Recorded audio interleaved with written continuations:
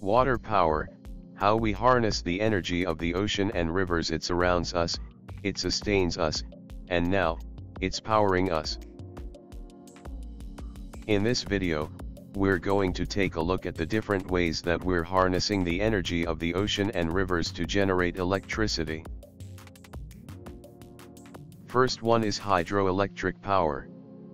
The most well-known form of water power is hydroelectric power, which is generated by using the force of falling water to turn turbines, which in turn generate electricity.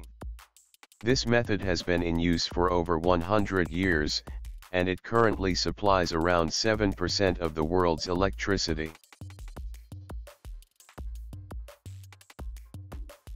Second one is tidal power. Another form of water power is tidal power, which uses the energy of the tides to generate electricity. Tidal power is a relatively new technology, but it has the potential to supply a significant amount of electricity, particularly in areas with strong tidal currents. Third one is wave power.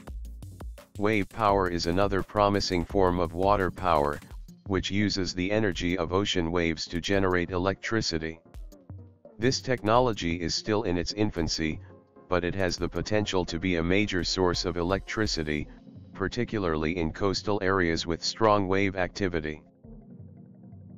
Conclusion Water power is a diverse and constantly evolving field, with many different technologies being developed to harness the energy of the ocean and rivers.